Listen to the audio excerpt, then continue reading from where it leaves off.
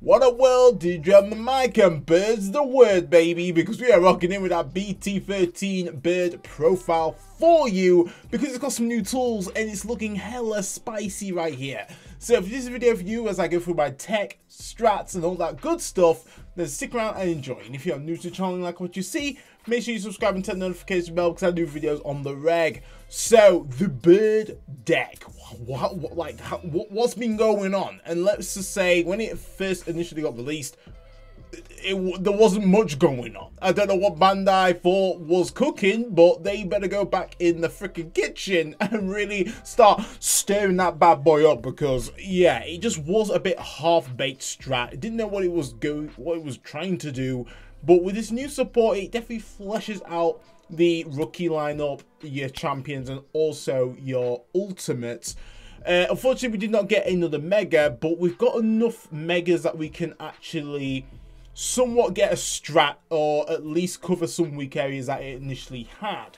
So let's go over to the rookies, uh, the rookies, the eggs. So eggs is just going to be your Goemon standard. I do feel like this is the best egg for um, Phoenixmon, just because the Yokomon, like, as much as it's about being deleted, sometimes you just never really at that spot where you're getting the full benefit of being deleted. It does require a little bit, a little bit of setup. So being able to just attack and draw one if you're at 6k or more does help massively to get your pieces. So I do prefer personally Goemon as the main egg for this particular build. And that's all we have, just four eggs as standard. Going on to the rookies, we do run a Sweet 12. It has to be the, obviously, the Biyomon from BT11. This is going to be like your primary searcher and also getting your tamers out as well. You can net two cards, which is going to be helpful for your strat. And then on the deletion, you're able to uh, gain memory if you have a tamer out a red tamer out in play, which obviously our main strat is about getting those tamers out. So we do run that there at 4. Then we go in with the new Biyomon from BT13. This is such a strong card right here because on play, uh, if played with an effect, you may return one of your Kirsty Damon uh, cards to your hand and digivolve this into a Garudamon in your hand, ignoring its digivolution costs and its digital requirements, which is just so strong. It's just a warp Digivolve, which is pretty sick and can really get you back into the game, uh, especially with the Kirsty Tamer that we do have, or Kristy uh, Tamer that we do have, uh, which is just going to help us massively. So ideally you do want to be running that 4, and then on deletion draw one, which is just not conditional to having a Tamer out. It's just, you die, you draw one. Beautiful. That's what we like to see. So then, in terms of the other rookies that are kind of out of the archetype, we do run a nice starter deck 7 Agumon. Um, the reason why is just that nice additional 2k DP when swinging at the uh, at the player is going to be helpful for us. Just means that our megas are going to be just a little bit more powerful in regards to, you know, swinging a Phoenixmon for 11. At least we're going to be swinging for 13, which is just nice. So we do run a cheeky two of them, and then we run the Solomon, just because Royal Knights is a thing.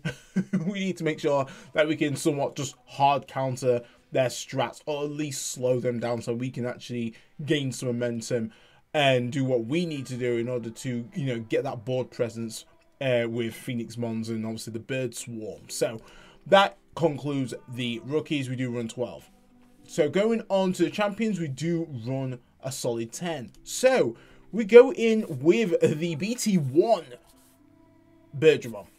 The reason why I like this is because you're able to gain additional security attack.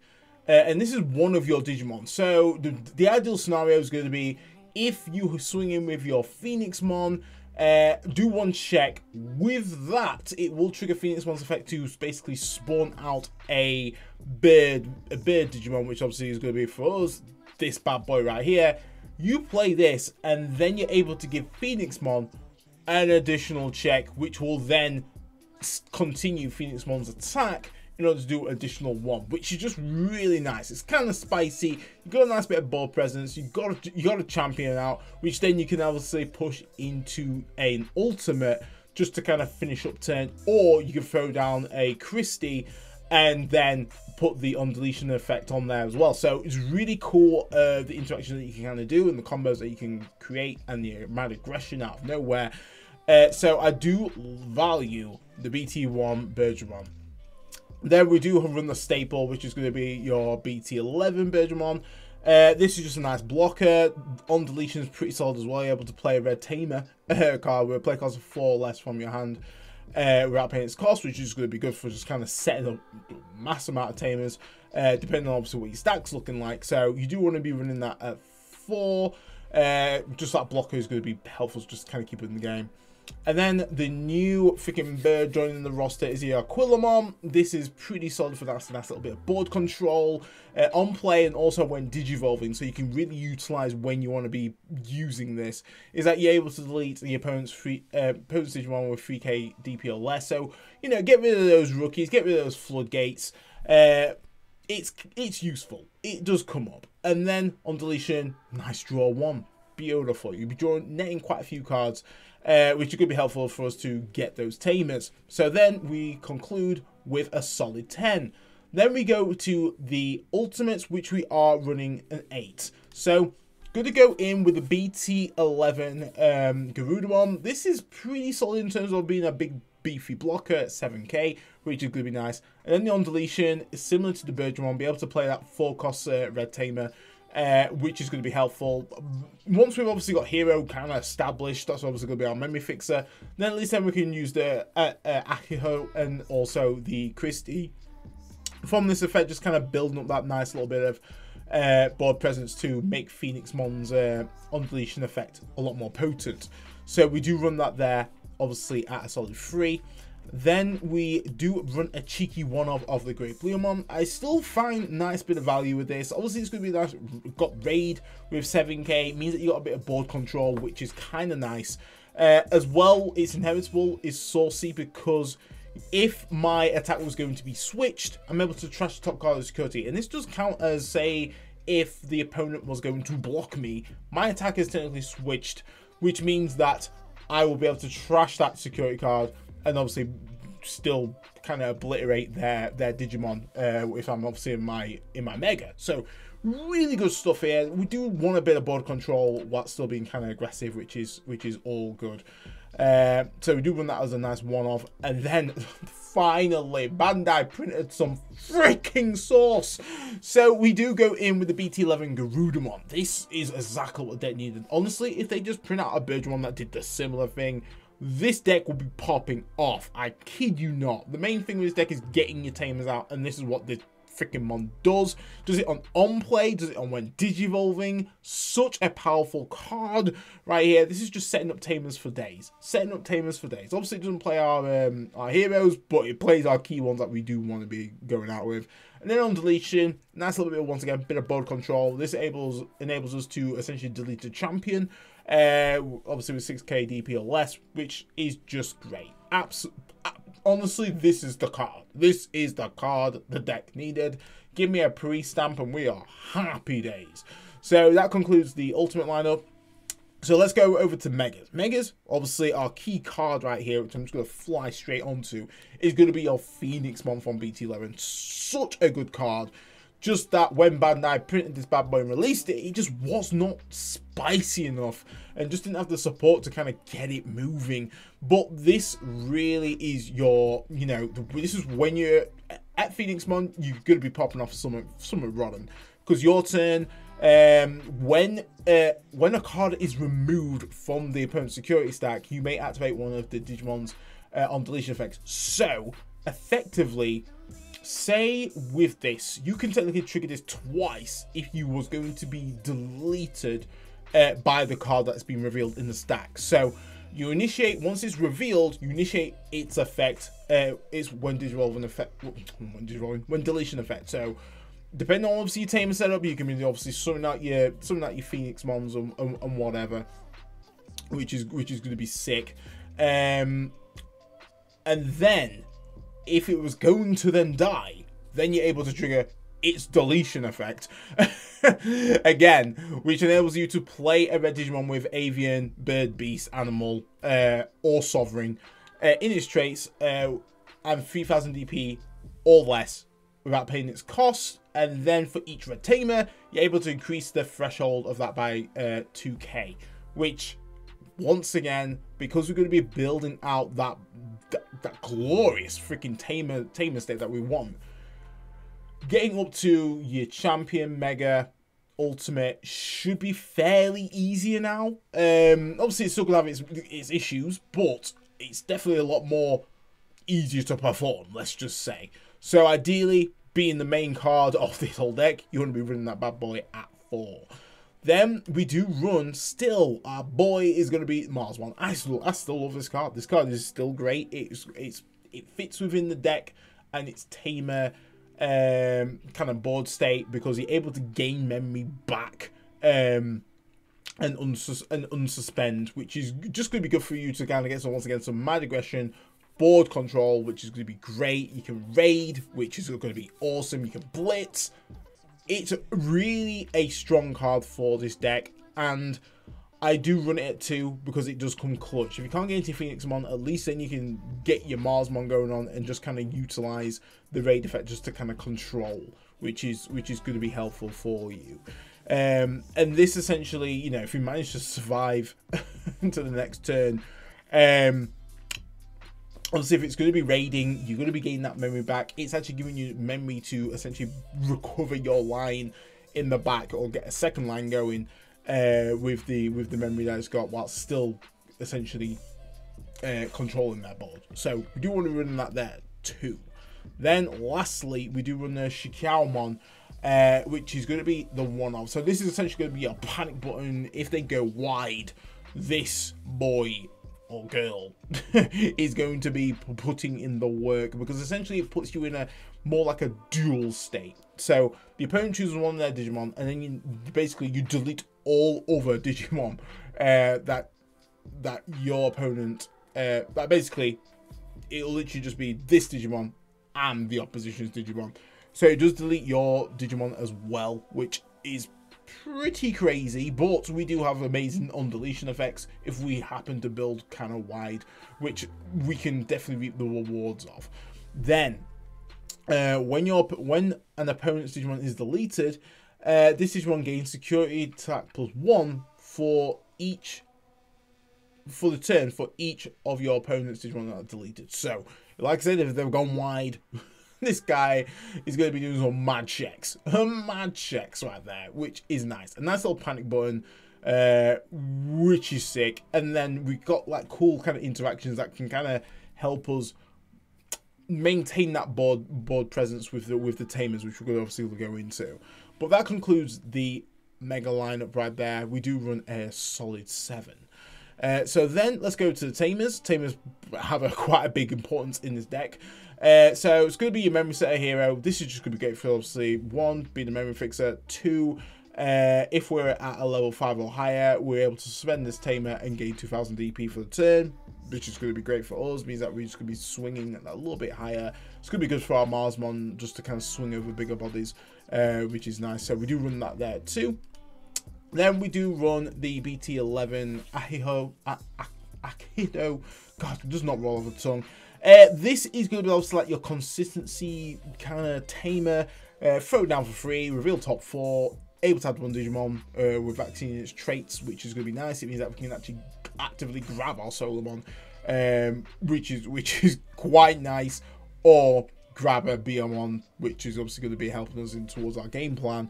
Uh, and then the, the the main bit, what makes this deck run, is essentially its uh, second ability, which if uh, when you play a red team, a red Digimon uh, with avian, bird, beast, animal, a sovereign, uh, in its traits by effects by suspending this tamer, that Digimon gains rush. So obviously the interaction between this and Phoenixmon really helps out because you are going to be playing that card by an effect, uh, which enables you to gain rush. Obviously, because we do have Kirsty, uh, Kirsty, Kristy uh, Damon, she's able to put on deletion effects, which enables us to play out a Biyomon uh, from hand or trash, which synergizes with this because it is a card effect, meaning that you can effectively gain that, give that rush. So it's really cool kind of interaction that you can do with both cards. Uh, really, really cool. You want to be running at four. Obviously, slam this down as many times as you can. You be you be laughing. Only bad thing about this card is the fact that it can bottom deck your tamers. A little bit annoying. So make sure when you are utilizing this, just ensure that you've got the right, you've got a good set of tamers in order for you to execute your plays. Um, they really need to print a tamer with vaccines trait. That would be fucking nice. or yeah, or essentially reword the freaking search effect in that sense because it has to be one red Digimon with vaccine. It could just be one one card with vaccines traits. Uh, would have been sick. Uh, but hey ho. Now let's go into Kristy Damon. This card is beautiful. We love a starter main, guys. We love a starter main. Start the main course. Uh, if you have a Digimon with Avian or Bird in one of its traits, then gain one memory. Oh, yes. Yes, give me that memory so I can execute some plays. The issue that I found with this deck initially was the memory. The memory, sometimes it was just very hard to essentially build up quick enough. Uh, at least with this, if you combo it up with a Hiro, you're kind of getting some decent memory. If you've managed to get two of these girls, two of these tamers out, you're freaking cooking. You're absolutely cooking. You get to five memory, which is which is nice, and then you're able to obviously uh, do it on play, uh, which is nice. Is going to be when one of your Digimon gains on deletion, you may play a Biyomon from hand or trash without paying its cost until the end of the opponent's turn. This card is just such a good, like, turn ender because it's essentially just any Digimon that that gains this on deletion effect. So if I if I go into Marsmon, uh, obviously do the cl clearing out and everything, cleared out their board, you know, Marsmon Marsmon's gone brass knuckles on this bad boy. And then I'm just like, ah, freaking two memory, throw down the Cursey Damon, give that on deletion, and be on. If they can't have to deal with that, because either you don't deal with it, and my boy's just going to be fucking punch you even more, or you deal with it, you've passed turn, and effectively you're gonna be faced off with a freaking Biyomon, which is gonna be on. They're gonna have to have the answer in order to kind of check that whilst keeping turn uh, being being the thing. So it is a really good card to add a bit of pressure and just make your opponent think a little bit. Uh, with the interaction with the new Biyomon, it's really, really solid. I do like the whole bounce back, uh, warp into Garudamon. You could use the freaking new Garudamon that plays the way you can play Kirsty back that gives it on the on deletion effect. Really cool, really cool interactions. Um, right there, really solid. I'm really excited. For, I'm really excited for that tamer, as as you probably can see. So that concludes with the tamer lineup. We do run the the, the good old solid uh, eight. No, is that eight? I don't think that's eight. Why got I count? uh, that is going to be nine. There we go. Christ, it's been a long day, guys. So going on to the freaking options. So options is going to keep it nice and light. So I'll, this was a quite a tough one. It was essentially, what do I want to run to be just like a kill card? And initially I was like, Gaia Force, just nice, I can pick my target, boom. It's expensive, granted, but I can make sure I can pick a target and ensure that the opponent's not going to work around what I'm going to be doing. Uh, but then I was like, well, Trident, Trident Gaia pretty much does the same thing as Gaia Force, if not better. The reason why is that you're able to delete one of your opponent's Digimon with the highest DP, uh, which is kind of what you want. You want to get rid of that big threat. And then, if that Digimon with 3000 DP or more was deleted, trash top card of your opponent's security stack, which is absolutely winning. Puts a puts your opponent in a bit of a sticky situation of oh damn.